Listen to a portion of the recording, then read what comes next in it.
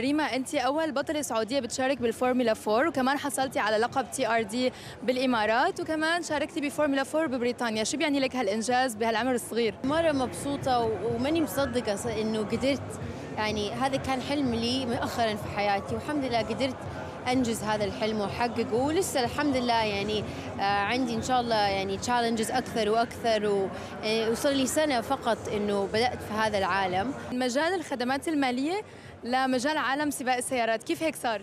صراحة يعني مو- موضوع السباق والريسنج كان شيء يعني كان شيء في بالي يمكن من أكثر من ثمانية سنين ولا شيء زي كذا.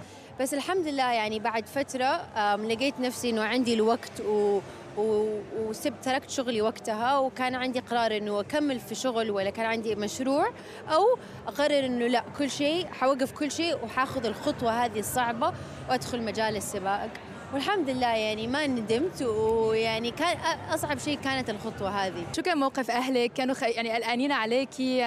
بتعرفي الأهل دائما بيكون عندهم شعور القلق هذا. يعني بالبداية داخلة ك كهوبي كشيء إنه حأعمله بس في الويكند.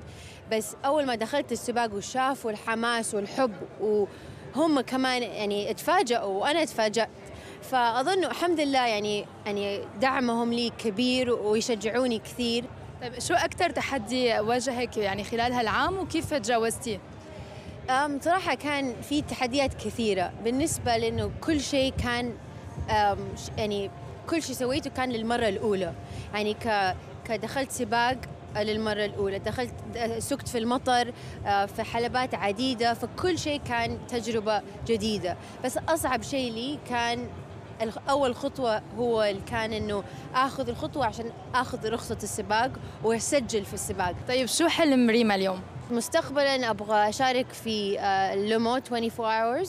في هذا السباق صعب جدا وإن شاء الله يعني بعد كم سنة أدخل فيه ويعني هذا هذا الحلم.